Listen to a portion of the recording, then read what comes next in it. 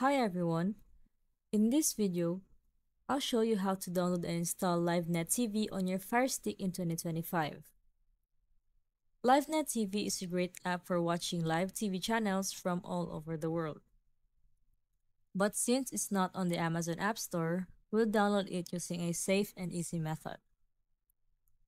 So first, from your Fire Stick home screen, go to Settings, My Fire TV, then Developer Options. From here, turn on ADB debugging and apps from unknown sources. So this allows you to install apps outside of the Amazon App Store. Now, go back to the home screen and open the search icon. From here, type Downloader. Select the orange Downloader app by AFTV News and install it.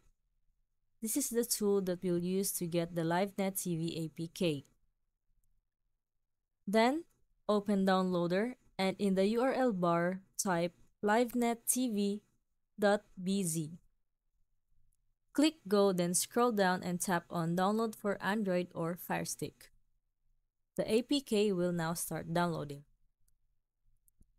Once the download is complete, click Install, and when it's done, hit Open to launch LiveNet TV.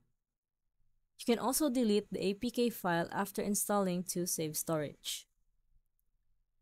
When you open LiveNet TV for the first time, grant the required permissions. You'll then see categories like sports, news, entertainment, and more.